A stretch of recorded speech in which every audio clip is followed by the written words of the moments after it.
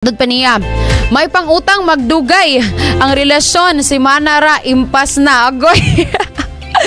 impas na mga kapaglaom mo na nga ah, kung ang relasyon man yung makapaglaom maimpas ah, na Dugay ra eh, dali ra maimpas si Manara niya yung utang dugay.